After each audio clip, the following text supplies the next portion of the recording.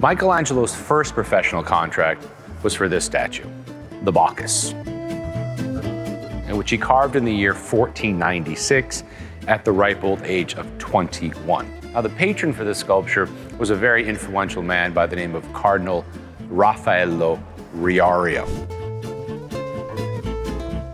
You've probably never heard of Riario, but you probably have heard of his uncle, Pope Sixtus IV, right, whose greatest architectural legacy was the construction of the Sistine Chapel.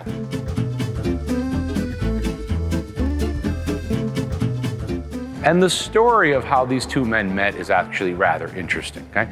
Vasari says that when Michelangelo was still a teenager, he was in the habit of carving sculptures in the ancient manner. Okay? In other words, making them look as if they were ancient statues.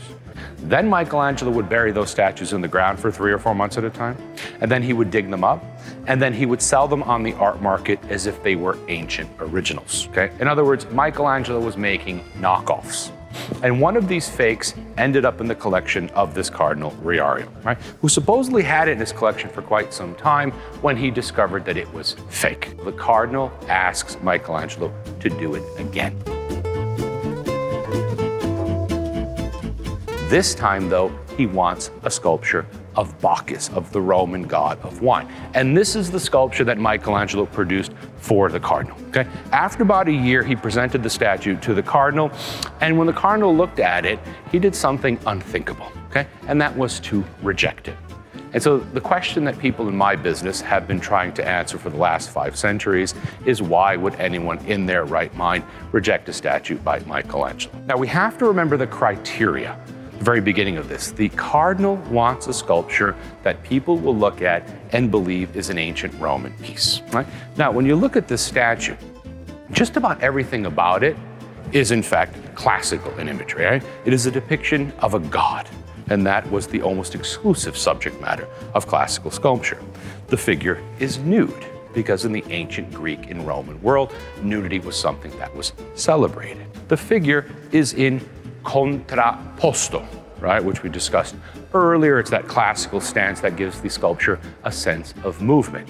But the one thing that this is not is idealized, right? Classical sculpture had a tendency to idealize its subject matter, right? I call them jokingly the 2% body fat Evian water drinking people, right? You see them all the time with these perfect bodies and these expressionless faces. Well, when you look at Bacchus, he is standing in a classical contrapposto stance, right? All of his weight is on his left leg. The right leg is relaxed, but it should be right next to that left leg. Right? Instead, it's a little too far out and a little too far back. That causes his pelvis to jut out, right? And we see that rather unflattering belly on the figure of Bacchus. Left shoulder is supposed to move back, but that left shoulder is swaggering.